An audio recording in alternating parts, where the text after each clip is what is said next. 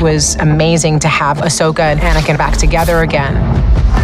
You know, as I was figuring out the story for Ahsoka, I just really thought, well, there's an opportunity I could bring Anakin and Ahsoka together. It's just awesome. I didn't expect to see you so soon.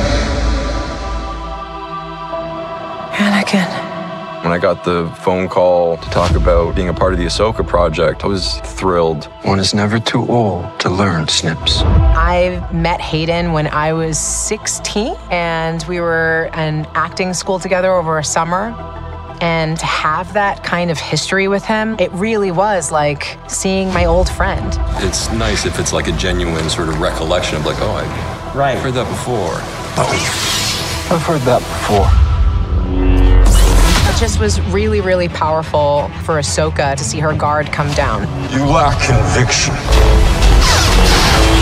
You know her as a stoic, super powerful, on top of it, warrior. And all of a sudden, she's Padawan again. I'm here to finish your training. Putting on the Anakin costume, getting to wear those Jedi robes, it kind of blows your mind every time. I just feel very grateful. There's hope for you yet.